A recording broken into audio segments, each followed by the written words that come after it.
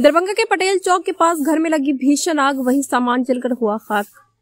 बड़ी खबर दरभंगा के विश्वविद्यालय थाना क्षेत्र के पटेल चौक की है, जहाँ हरिशंकर प्रसाद नामक व्यक्ति के घर में भीषण आग लग गई, जहाँ बताया जा रहा है कि 12 से 15 लाख का सामान रखा था, जो जलकर खाक हो गई।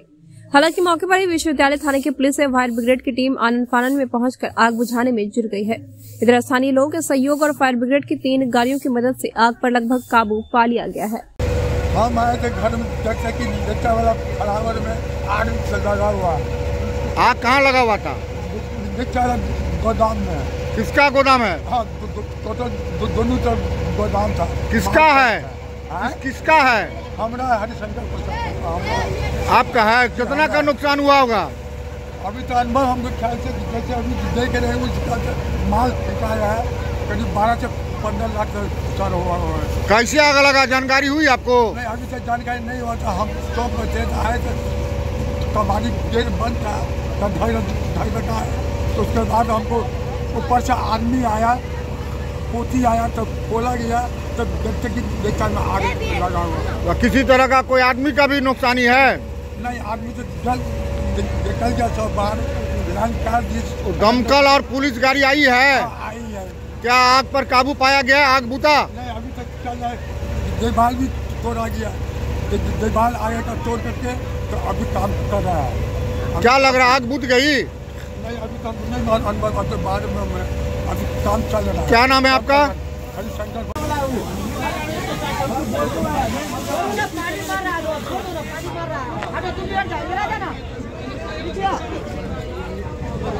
कहाँ जाने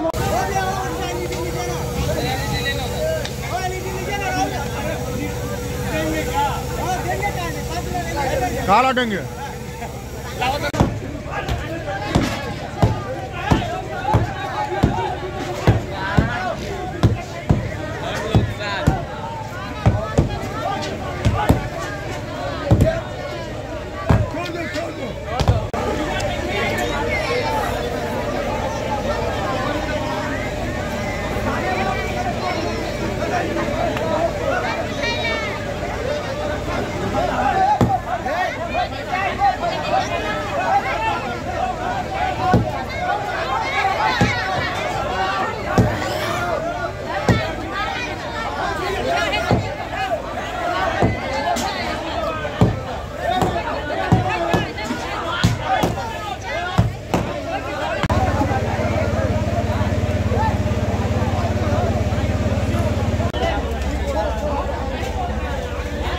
Bravo!